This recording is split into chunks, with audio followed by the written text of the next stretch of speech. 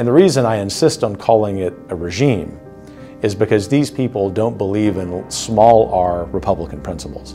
They don't believe that there is a common good to which they owe a moral obligation, as many Republicans and Democrat leaders leading up to this point have. They hate what the everyday American stands for. Today I sit down with President of the Heritage Foundation, Kevin Roberts. We discuss Heritage's comprehensive vision on dealing with the Chinese Communist Party, how Heritage has changed since Roberts' arrival, the 2025 Presidential Transition Project, and Tucker Carlson's last speech as a Fox host at the Heritage Gala. Project 2025, the aim of which is to take the, the biggest dagger ever and place it firmly in the center of the heart of the deep state.